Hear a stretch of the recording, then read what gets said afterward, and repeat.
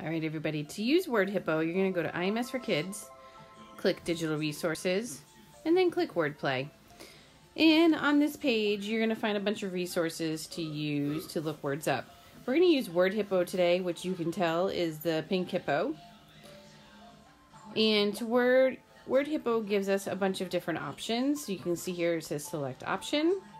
And here are all our options. Today we're going to look use the meaning of because we want to define words.